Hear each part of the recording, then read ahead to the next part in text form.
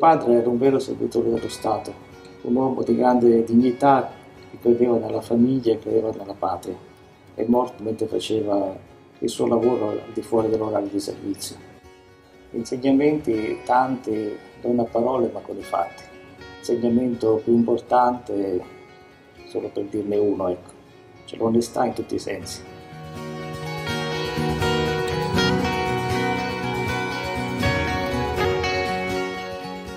Roberto, mio fratello più piccolo, non c'è più adesso. Ha cercato di difendere il suo dirigente Nini Cassarà in tutto e per tutto, ma purtroppo sono caduti insieme. C'è un attaccamento particolare per, per la polizia, aveva voluto entrare in polizia perché si sentiva poliziotto e era la, la sua vita. Mamma diceva quando ti sparano un figlio sparano anche a te. Quel giorno avevano sparato anche a me. Diciamo così che io ho pochissime memorie personali perché ero un bambino molto piccolo. Mio padre era una persona che è morto e aveva 34 anni ed era una persona poi che curiosa e che amava tantissimo il suo lavoro. Se si vuole rispettare la figura di mio padre, secondo me è sbagliato chiamarlo santo o chiamarlo eroe o pensare che debba essere riconosciuto come santo o come eroe. E, e quindi lui pensava che fosse normale fare il lavoro così e quindi che non ci fosse nulla di eroico, che quella è la normalità da seguire, che tutti dovrebbero seguire quella normalità di scrupolo, di dedizione.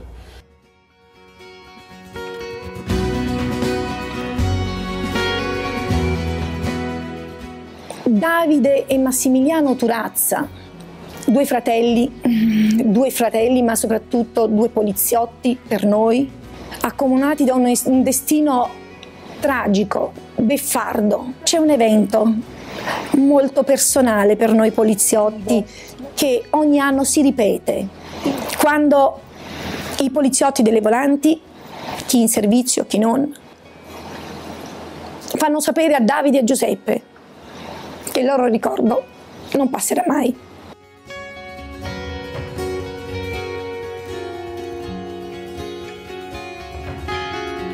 Era il 30 marzo 1991 e io e mio marito con i figli stavamo facendo degli acquisti. All'improvviso si sentirono degli spari. Intervenne per un senso di dovere, ma appena usciti fuori mio marito fu colpito sono orgogliosa di lui perché lui l'ha fatto per un, un senso dovere, perché lui amava molto la sua divisa, amava il suo lavoro. E oggi il ricordo di lui ci sono i figli.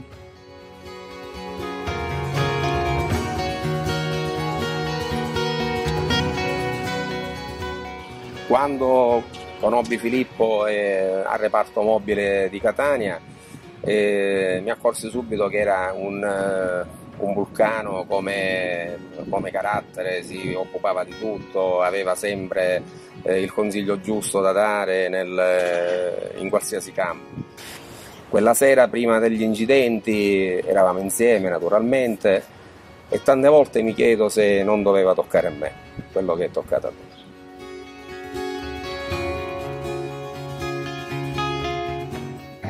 È stato un sacrificio che ha, ha portato dei risultati molto, molto grandi nell'ambito sia, de, sia della polizia che salvare altre vite.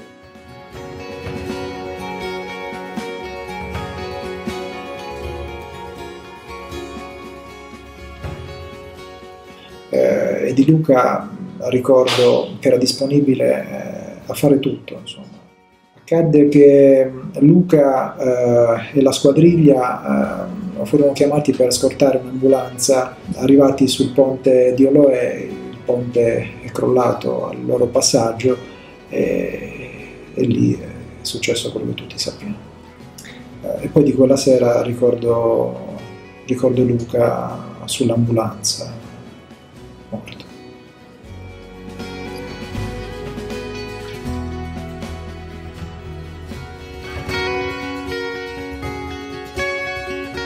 Umberto era un sostituto contabile della Polizia di Stato che ha dato la sua vita per, per il dovere.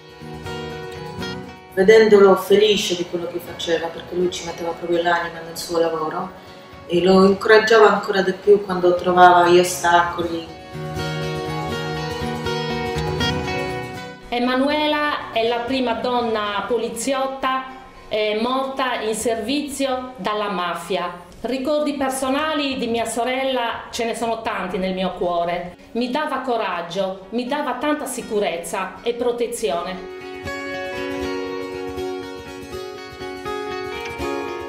Io mi sento soprattutto la moglie di un uomo che ha fatto il suo dovere. Quando mi capita di pensare agli ultimi istanti e quei momenti che lui ha vissuto, io lo immagino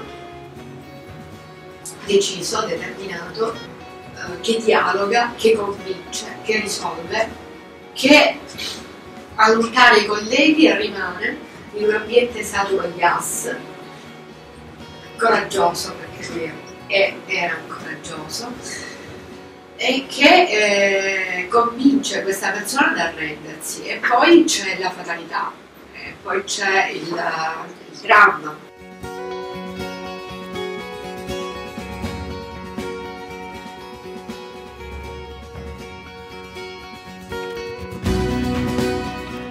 La perdita è stata immensa e quindi l'unica cosa che possiamo fare è quella di ricordarlo e, e più le persone si ricordano di lui e più continuano a parlarne, a portarlo avanti, è come se lui continuasse a vivere, a vivere ad essere sempre presente.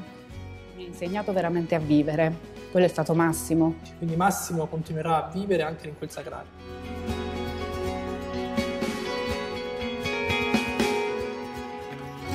Per questi poliziotti come noi, conservate un posto nella vostra memoria mentre andate nei luoghi dove loro non possono più andare, con persone con cui non possono più stare.